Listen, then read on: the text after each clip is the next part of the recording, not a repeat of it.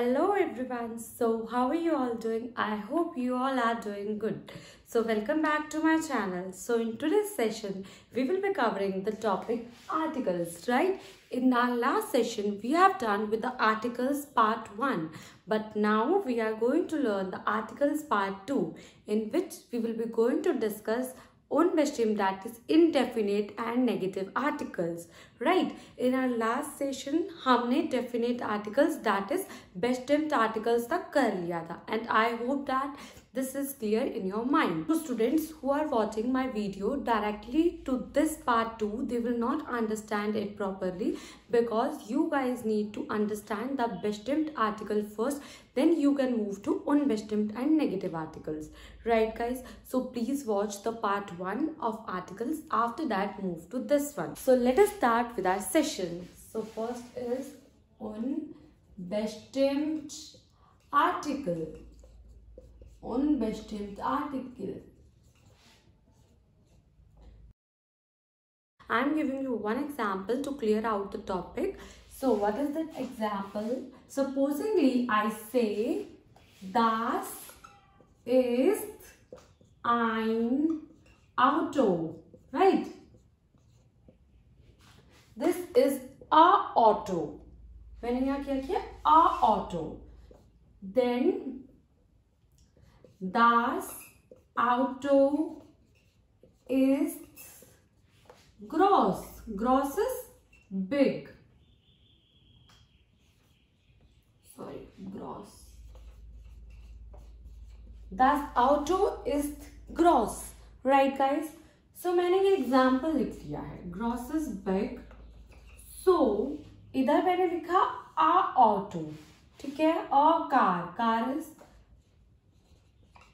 auto is car ठीक है? फिर मैंने बोला द ऑटो मीन्स कार ठीक है? So I have mention the here I am specific a car ठीक है? सो ये हमारा unbestimmt आर्टिकल हुआ. That is indefinite articles indefinite आर्टिकल्स hmm I have specified a auto but here I am talking about the auto is gross. ठीक है The auto, the car is big. ठीक है So what happens in unbestimmt articles? Das auto is changed into ein Auto. Right? Here it is das Auto but here in unbestimmt article it is changing into आइन आउटो right so ये हमारा बेस्टिम्ट article था। Here it is अनबेस्टिम्ट article so let's take another example let's have a look at our next example supposingly I say Das is आइन ताशो ताशो is bag bag ठीक है? फिर मैं बोलती हूँ, दी Tasche ist क्लाइन। Klein is small. यहाँ मैं लिख रही हूँ, the bag is small. Right इधर मैं लिख रही हूँ this is a bag a bag तो व्हाट हैपन्स दी टाशो इज़ द दीज बेस्टिम्ड article but here it is changing into eine Tasche. So it is unbestimmt article. It in unbestimmt article the becomes eine. ठीक है guys? Same रहेगा बस दी की जगह आईना लगा दिया we have specified one but here it is although the out the bag sorry the bag is small right so what we have learned from these two example, these two example that in unbestimmt article, there will be going to change into ein, die will become eine and then das will become ein and plural that is the, it doesn't exist. Masculine, feminine, neutrum and plural. Right? ये हमारा change हुआ। So guys आइन Widal तो आपके mind में question आता है, ये एग्जिस्ट क्यों नहीं करता? आईना क्यों नहीं लिख रहे? हम कभी ये नहीं बोलते, अ कार्स ठीक है? हम बोलेंगे कि बहुत सारी कार्स हैं। ठीक है? एक कार थोड़ी, एक कार हो सकती है बट एक कार्स नहीं हो सकती। एक बैग हो सकता है, एक बैग्स नहीं हो सकता। सो इट इज़ आइनर मीन्स एक के लिए यूज़ कर रहे हैं हम। अ आइनर इज़ वन ठीक है?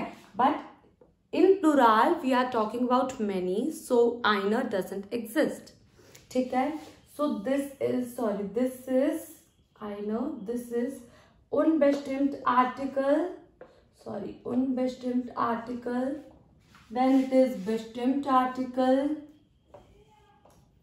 unbestimmt article and let's move to our negative articles negative articles kaun se hote hain right so same here we will be going to take one example to clear the picture of negative articles in your mind so what is the example supposingly i say sind capital Zin das Schuhe. Are they shoes? Schuhe is shoes. ये question पूछती हूँ are they shoes तो what you will be replying nine das sind keine. मैंने बोला they are not shoes they are socks तो मैंने लिखा दास जिन सोकुन दास जिन जोकुन ठीक है? तो what I done I have mentioned काइनर so it is are which article? negative article. Negative article. So here we have written are they shoes?